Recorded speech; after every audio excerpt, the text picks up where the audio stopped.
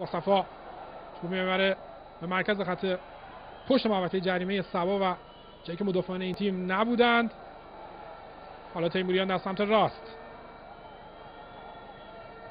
روی دروازه. فرصت برای استقلال. توی دروازه.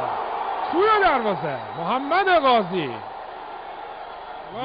بیازار داشت به کار خودش ادامه می‌داد اما یه لحظه ارسال مجید غلام نژاد قفلت از قاضی و ضربه سری که محل تلاقی تیر عمودی و افقی دروازه رو آزاد برای استقلال باید زده بشه. داور هنوز اجازه کار رو حالا اجازه کار رو میده.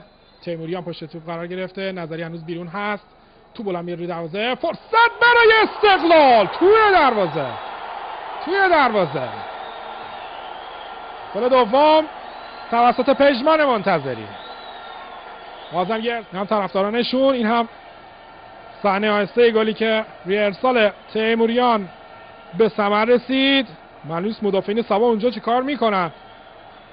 نیتی در مقابل دروازه و گل! گل نهم غلام رضا نیتی در این فصل اختلاف رو به حداقل میرسونه. واقعا بازیکن جنگنده و متعصبیه که در آخرین لحظه تلاش می‌کنه برای اینکه تیمش رو کنه به بازگشت به